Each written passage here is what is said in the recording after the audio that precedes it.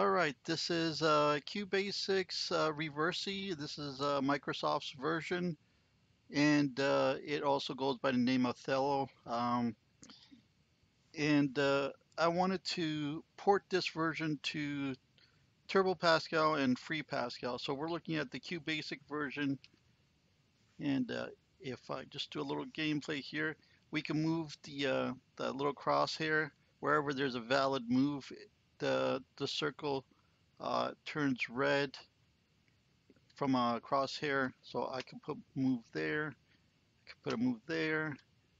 And pretty much the the object of the game is to flip over as many of the uh, the colors to your color and the winner is whoever has the most at the end.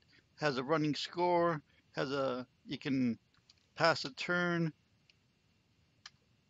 you can set the difficulty, expert, novice. It has online help.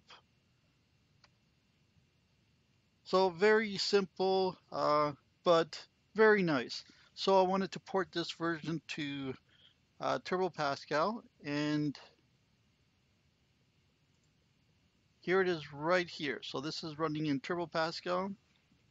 And again, it works pretty much the same way. The only difference is uh, on the menus here, I've cleaned up um, a little so that it doesn't leave the, the little background.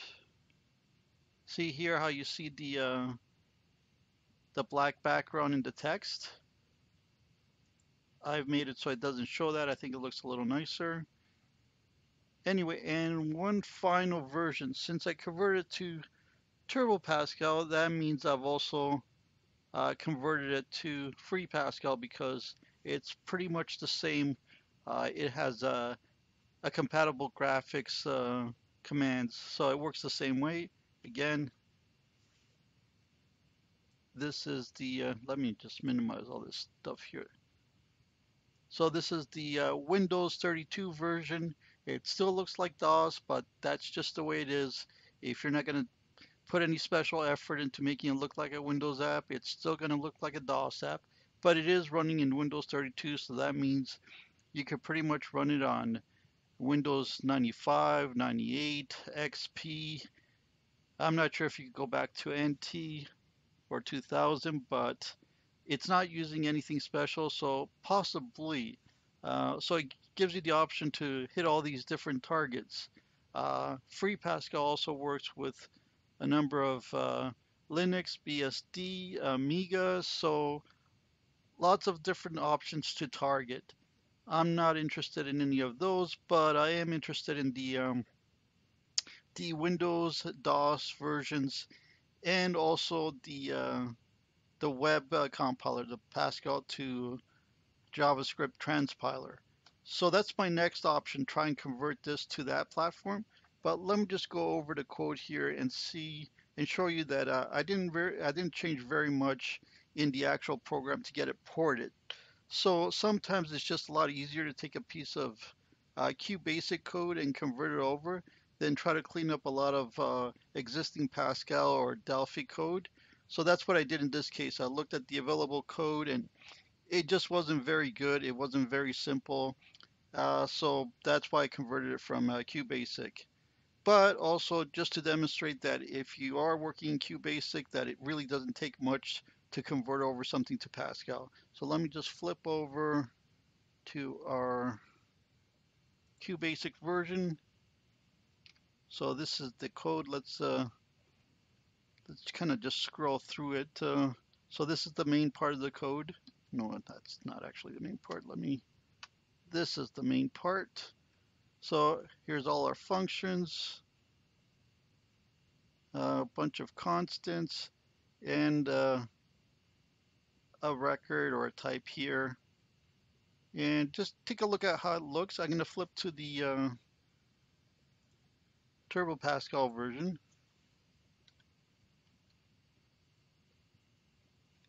And again, uh, we have a slightly different beginning here with the uh, program name and uses the graph in CRT, which is not present in the QBasic version.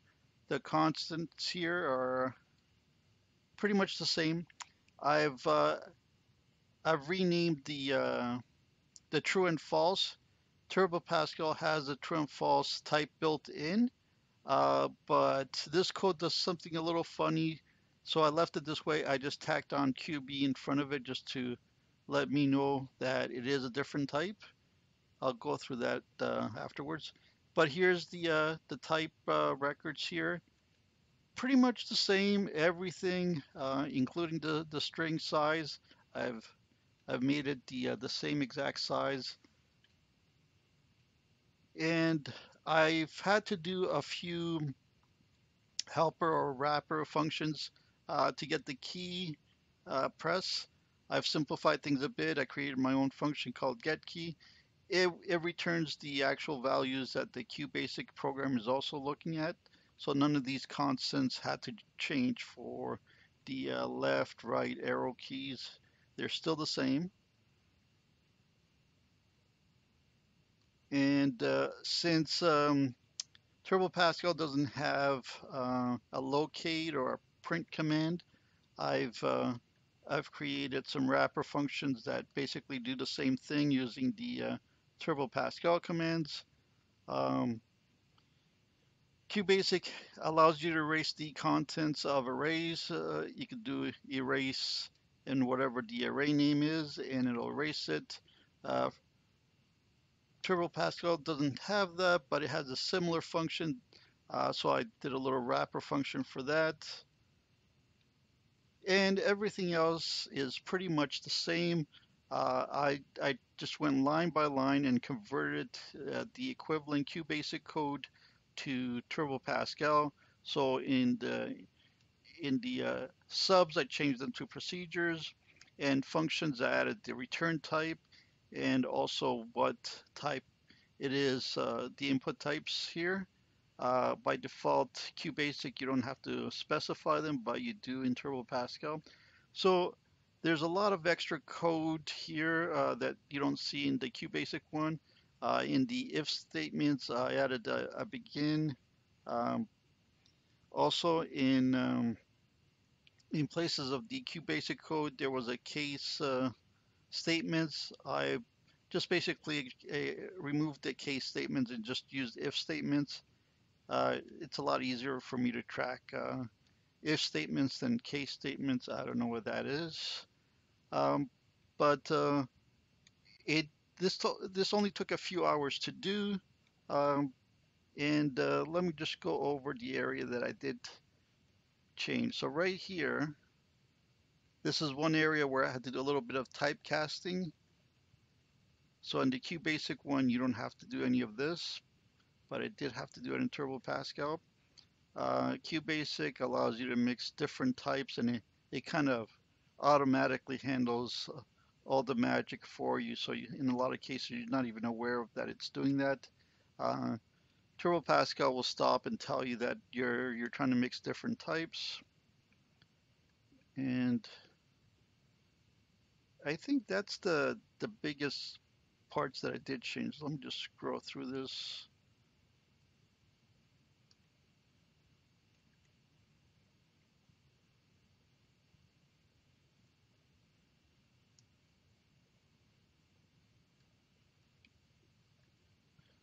Okay, there's one more area.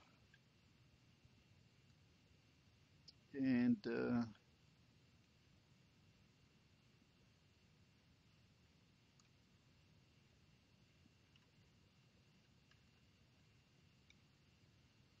having a hard time trying to locate it now.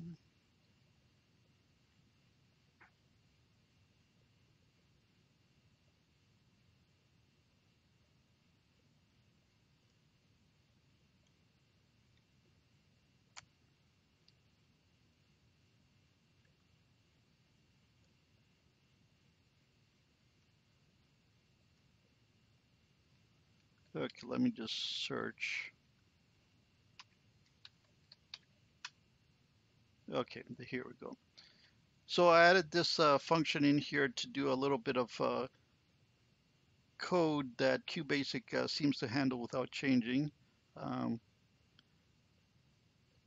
so there's a piece of code. Uh, let's find it.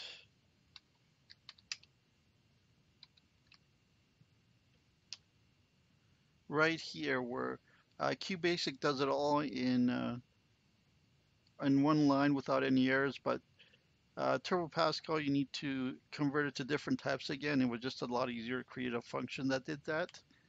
Um, so that's the, uh,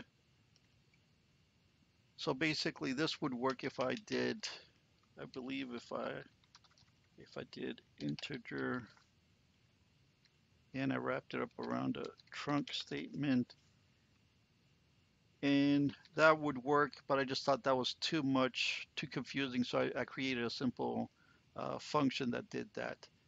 Um, and I guess that's it. Uh, so if you ever wonder how difficult it is to convert something in QBasic with graphics, this might be a good example. So I'll leave it here. Uh, the code will be on GitHub. I might do a little more fixing up, so if you don't see it right away, uh, check tomorrow or the next day, whenever this is published. And uh, thanks for watching.